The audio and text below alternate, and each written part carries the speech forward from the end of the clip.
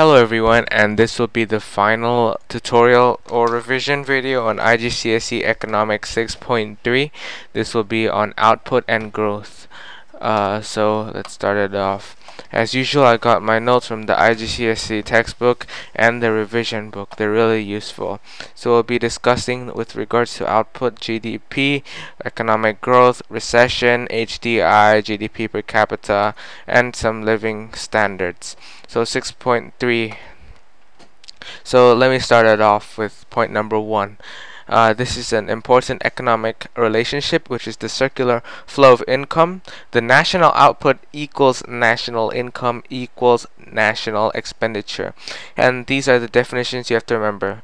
And GDP uh, can have different methods of measuring them, and each of these uh, is one of them uh, the national output and this is the total value of output of goods and services produced. Another option could be national income and this is the total amount of income earned by factors of production including entrepreneurs in a macro economy. And the last one is national expenditure and it's how much people or organizational organizations pay for all goods and services. As I said earlier, GDP can be measured using those methods, and uh, GDP is gross domestic product and the definition for that is basically the total value of output produced in an economy. Uh, we can clearly state its output because syllabus statement says uh, with regards to output. So there are two types. Hello everyone and sorry for the interruption. I've realized I made a mistake between real GDP and nominal GDP. So this video will um make sure you understand. So for example, uh, for the sake of understanding the difference, we have uh, GDP as $1,000 in the first year and $1,200 in the second year.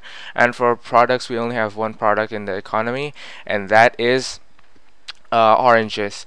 And for example, if oranges are sold $0.5 for each, and in the second year, oranges are sold $0.55. So we can um, we can calculate the nominal GDP just by the GDP in the first uh, second year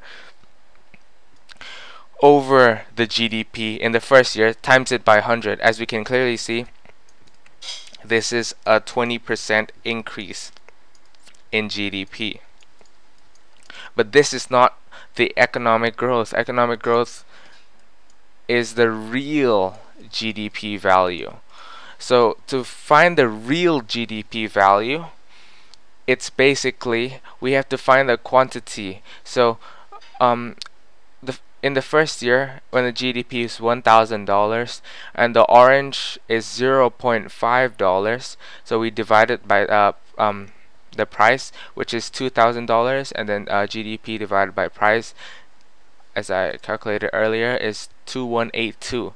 So this is the quantity sold.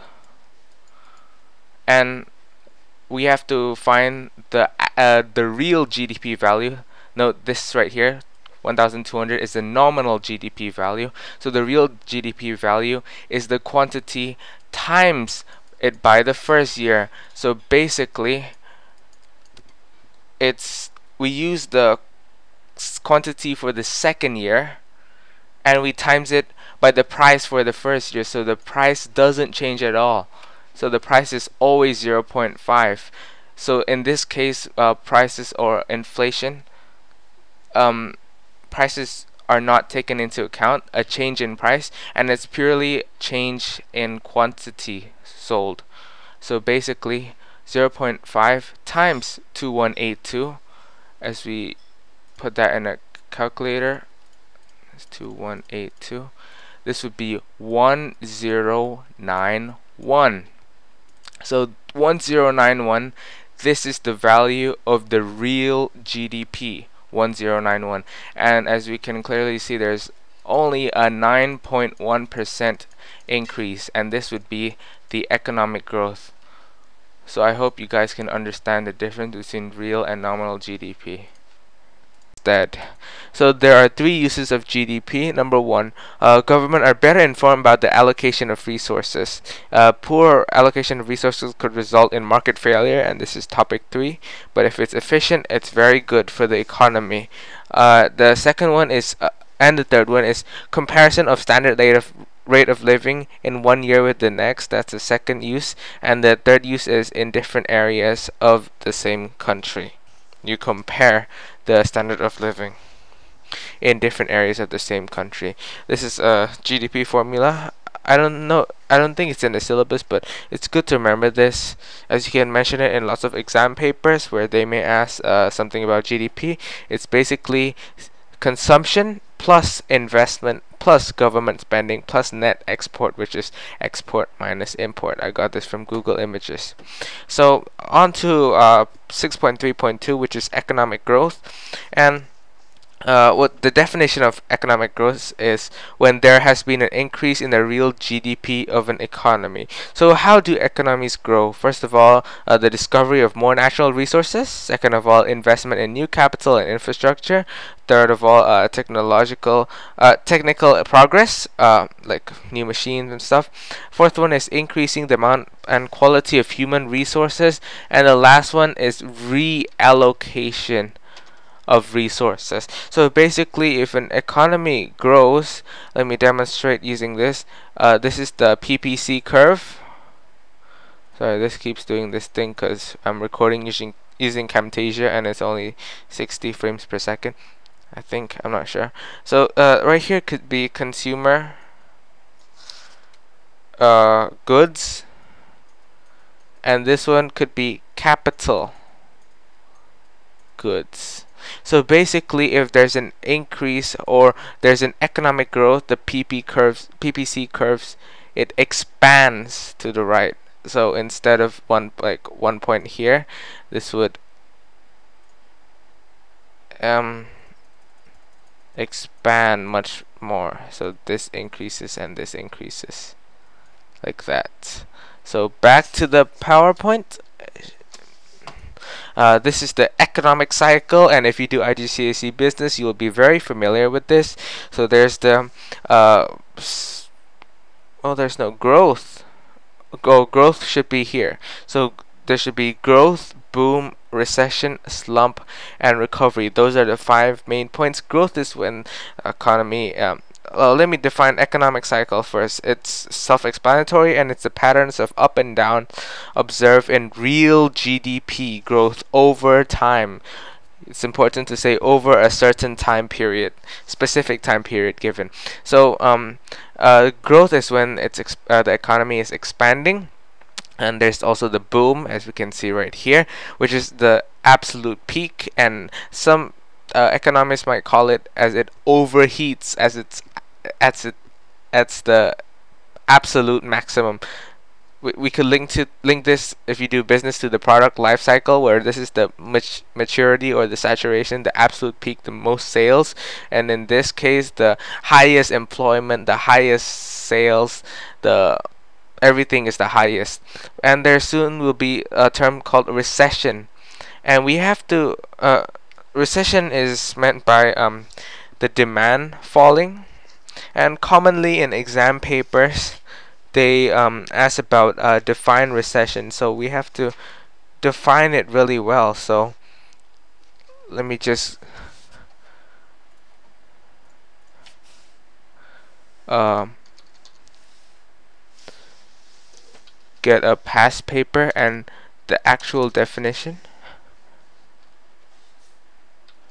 Um, 2013 summer. S13 question paper um 23 I've encountered this and we lots of times you have to define recession uh, among the uh, growth boom recession and slump uh, recovery. So like here define the term recession. So if we get to the mark scheme for this one question 6 it is. You have to remember this to get the uh, full two marks. So question 6 this right here. It is where there is a fall in the output of a country as measured by GDP or economic downturn. It is two successive two successive quarters of negative growth.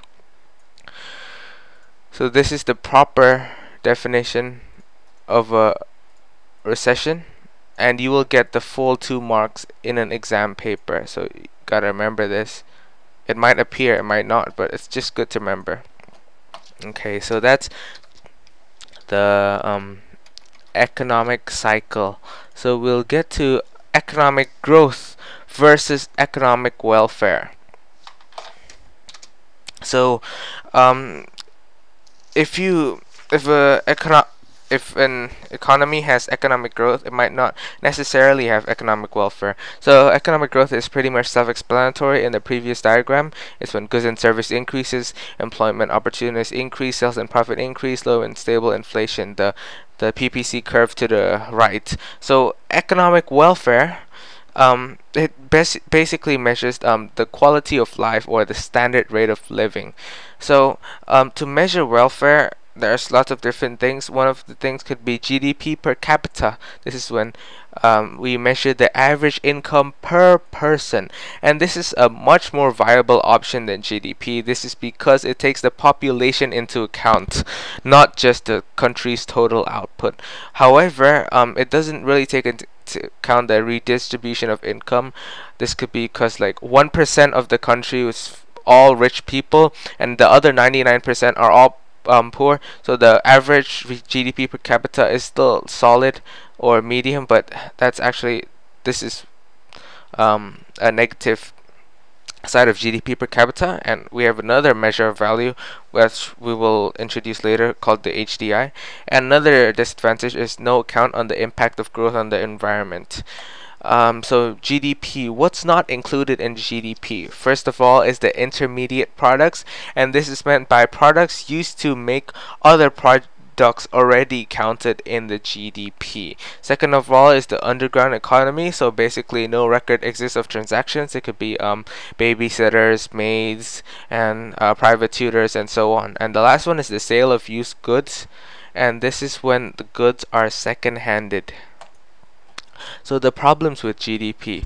First of all, it doesn't measure happiness. Second of all, as I said earlier, the distribution of income. It's uneven. And last of all is um, the negative byproducts attributed to increased production, uh, which could be pollution or traffic. So, uh, as we can see earlier, there's lots of problems with GDP.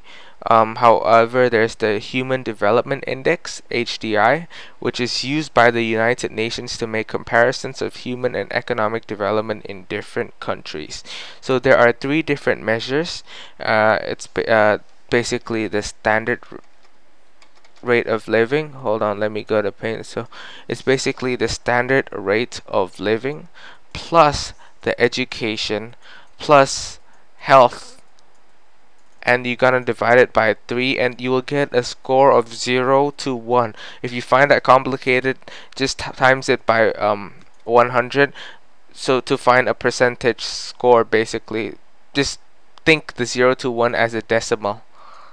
So basically Norway is like top with 0.94 think of it as 94% in the test source they're really high. So basically 0 to 1 that's how they're measured in uh, if it's there's they will be classified into very high, high, medium, and low HDI. So um, three different measures. Uh, standard rate of living, as I said earlier, this could be um, the GDP per capita. so and it um yeah G GDP per capita um, there's also education, which um, includes the adult literacy rate and the school and college enrollment and how long they stay in certain schools. Like some countries implement a system where they have to stay uh, 18 until 18 years old, then they can get a job. That's education. Uh, and the uh, third one is health and life expectancy.